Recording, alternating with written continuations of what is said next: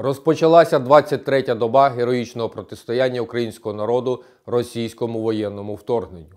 Стан, положення та характер дій Сил оборони суттєвих змін протягом останньої доби не зазнали. Збройні сили України продовжували завдавати нищівних ударів по угрупованнях військ ворога, що намагаються закріпитися та утримувати захоплені оборонні рубежі.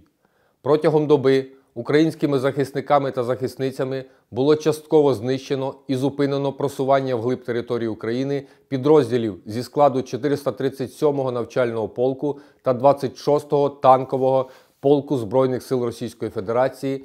Втрати ворога уточнюються. Також за попередню добу бомбардувальною і штурмовою авіацією повітряних сил Збройних сил України було завдано потужних ударів по колонах військової техніки противника. Зенітними ракетними військами та винищувальною авіацією було уражено 14 повітряних цілей ворога, 7 літаків, вертоліт, 3 БПЛА та 3 крилаті ракети. У зв'язку з тим, що окупанти суттєво вичерпали людські ресурси, це безповоротні та санітарні втрати, завдані підрозділами Збройних сил України, випадки самокаліцтва з метою ухилення від участі у бойових діях та психогенні втрати. Командування Збройних сил Російської Федерації вимушено вдається до крайніх мір у питаннях комплектування особовим складом.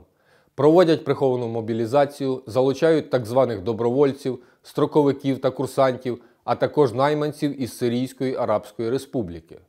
На окремих тимчасово зайнятих територіях російські окупанти намагаються створити собі показовий позитивний імідж, роздаючи продовольчі товари цивільному населенню. Водночас проводять активний пошук та затримання проукраїнських активістів, держслужбовців, учасників АТО ОС та членів їхніх сімей, а також інших громадян, які можуть організувати спротив окупації. Ворог продовжує нести втрати, має проблеми із забезпеченням підрозділів.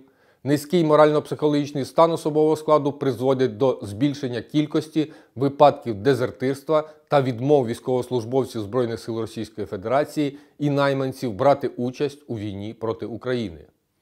Так що зберігаємо спокій, разом переможемо. Слава Україні!